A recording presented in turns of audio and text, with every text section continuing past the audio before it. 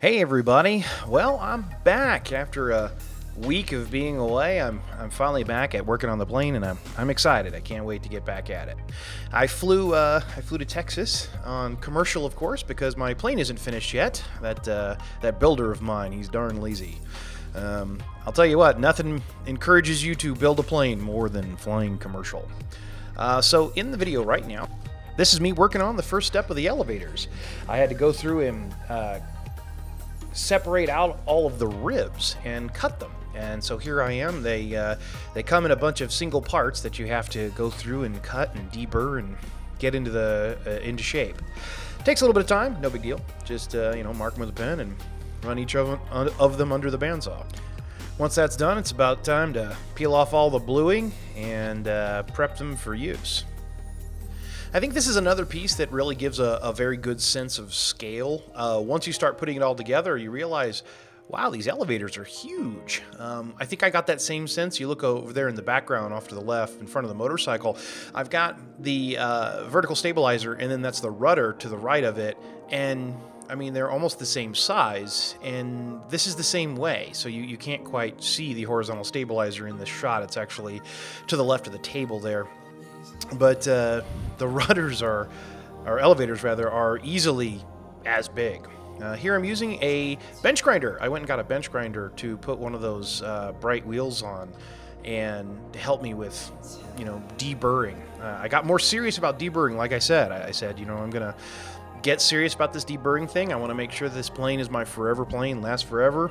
And that means that I need to, you know, not fool around when it comes to cleaning and preparing the parts. So uh, that's what I did. I went got this thing. By the way, you can get these at Home Depot for like 40 bucks. The Scotch-Brite wheel, uh, it's a six inch wheel, uh, is something that I bought from Avery as part of my overall package. And uh, you can check that out. I definitely recommend it. Uh, nice device, nice, you know, easy, makes deburring and cleaning a heck of a lot easier.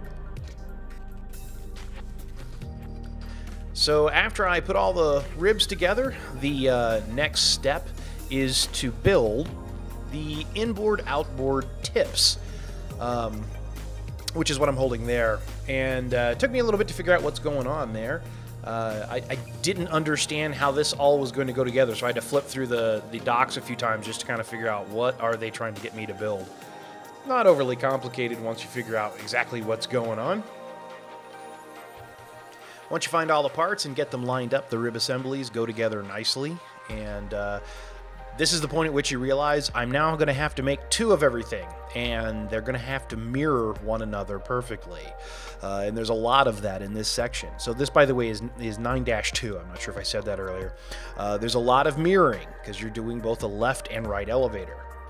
One thing it does mention in the instructions is that you need to straighten uh, the pieces. And what it's talking about is the back of uh, the inboard and outboard piece. And you just use your uh, fluting pliers to just kind of give them a little squeeze and straighten that out so it lays flat on the table. Mine actually came mostly flat. But once I got them all clecoed up and put together and drilled out, they look like this. Isn't that beautiful? It's a good camera. Uh, there are a couple places where those, you know, it looks like there's a little bit of a bend, but it's actually supposed to be that way because, well, I did it to make them straight.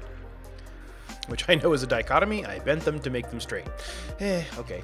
Anyways, so now I'm doing the next thing, which is uh, cutting these shear clips. Thought I'd give you a little close up of my uh, bandsaw action. It was a terrible shot. You can't actually see the blade at all. Uh, but once I got those all positioned up and deburred, I, uh, you know, again, taking the deburring seriously, I placed them out on the uh, thing and took a shot of them. So there they are in all their glory. Do they look glorious? I think they do. And this moves us on to the next page. That was the end of 9-2. Uh, now we're on to 9-3. And of course, the first thing you have to do is kind of clean up your work area a little. So 9-3 is all about uh, the skins for this area, and I, I, decided to go through and start marking and, and figuring out uh, what I'm supposed to do, and got the uh, soldering iron out so I could start removing bits as necessary. Uh, you'll notice there's actually four skins we're working here. There's, uh, you know, top left, top right, bottom left, bottom right. And what you have to do in very short order is decide which of those is which. Because as soon as you do what I'm doing here now, which is bending the tabs down, uh, that determines their position on the plane, and forever will that dominate their destiny, right? Um, I would say be careful with the tabs. It's very easy to overbend them. Uh, I used my rivet gun with the power turned way down. Basically, it, it was almost pointless, but I just sat there and slowly worked over it and gave them a little bend. Uh, it came out all right. Uh, you know, I think I probably could have done better had I taken more time. Um, but, you know, it worked. So I guess I can't complain too terribly much. Once you get those bent, and as you can see here, it's time to move on to the next page. This is 9-4, where I'm, uh, right now it looks like I was working on the reinforcement hinge plates right there. Uh, those That was done really quickly, it just didn't take very long. Then I peeled off the vinyl from one of the skins and clecoed those uh, spars in place. Now, uh, after reading, you don't have to leave those uh, reinforcement plates on. And in fact, after I drilled them all out, uh, I removed them. I, I, accidentally skipped a step. Don't skip a step. but, and you can see here, now I'm doing it correctly. So I drilled those out on the table and then pulled those off and then started going to the skin. Uh, read carefully, boys and girls. Read carefully. The next thing I'm doing right here is routing the cable hole. So your final drilling a very small hole all the way up to 5 eighths of an inch. Be very careful. Uh, it's very easy to drill the wrong hole. Um, I didn't, thankfully, but I could see how that mistake could easily be made. Uh, since you're mirroring these actions, I would put them both out on the table with everything, you know, where it's going to be and mark and then read and mark again uh, and read again before you actually start drilling. Uh, the other thing I did is I used a piece of tape on the, uh, ugh, removing that vinyl takes forever, on the uh, unibit drill so that uh, I know I, I wouldn't go any deeper than 5 eighths. And checking my time, listening to music. Here we go. More reading. Lots more reading. And this is the beginning of 9-5. So here I'm going through and I'm taking all of those ribs that I previously uh, had created and I'm clecoing them to the rear spar and or sorry the front spar and then clecoing uh, through the skin to the rib itself so that they're all solid. And this is what it looks like. So you can see each of the ribs are in their correct positions. And by the way, uh, inboard and outboard facing is important, so make sure you follow the instructions there as well. Uh, once I've got it done, I go forward and I put the rear spar in place and cleco it down, and that's what's going on here. As always, none of this is overly complicated. Just follow the instructions and, you know, pay attention. That's the most important part. Um, also, it took me a little while to find the 905 root rib. I had it hidden underneath some of the other parts, but you know, as always, I've complained before, having your stuff, you know, all your pieces organized is, you know, probably better in, in the long run. So that's something I would highly recommend.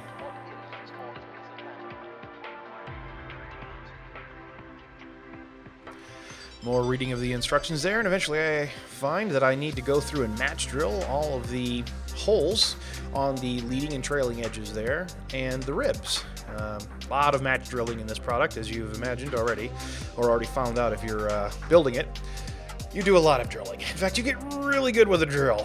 Um, I did find out using, or I did decide that using the long drill bit here was easier because there's a couple spots where the skin's sticking out too far. And if you try to use a short drill bit, you rub up against the skin. And, well, that's a little unwieldy. Here we're putting the uh, those shear spars, shear clips rather, in place and uh, drilling through those. Those will come into play here in a bit. Very important pieces, actually. I, I didn't realize until much later how important they actually are. And this is the beginning of 9-6 where I'm working with the trim access and the bottom skin on the elevators. That's that hole right here that you see. Um, this will actually have a cable that runs to the slit in the bottom and you've got like a, a cover that fits in the obvious place where it would fit there. Um, and so here I'm drilling all those various matched holes and then once I'm done I do it on the other side. Again you do everything twice, at least, if not four times. The next thing I have to do is uh, grab some, uh, I can't remember what it's called. It's, it's a little, little piece of metal, effectively, that goes uh, against the root rib and the rear spar. Um, I think they call it a gusset. I forget. Anyways, it's just a little chunk of aluminum uh, for strength. And then once you get that done, it's time to put the tip assembly on. And once you see that, you're like, ah, now it all has a real shape. And now I see how it all goes together. Yay. Um, it's good stuff. Some of the drilling's a little awkward, as you can see there.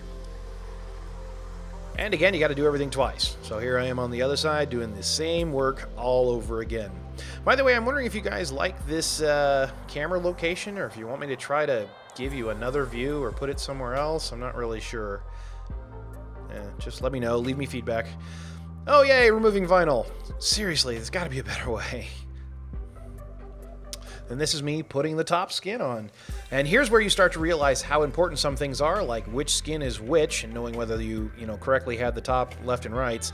The other thing is is how they go together around the shear clip. It's important that you you have the shear clip on the outside, uh, between you know you put the skin between the bottom skin and the shear clip because when you do the match drilling, which I'm not sure if I do in this video or not, when you do the match drilling, you drill through the shear clip into the two skins, and that is how you determine.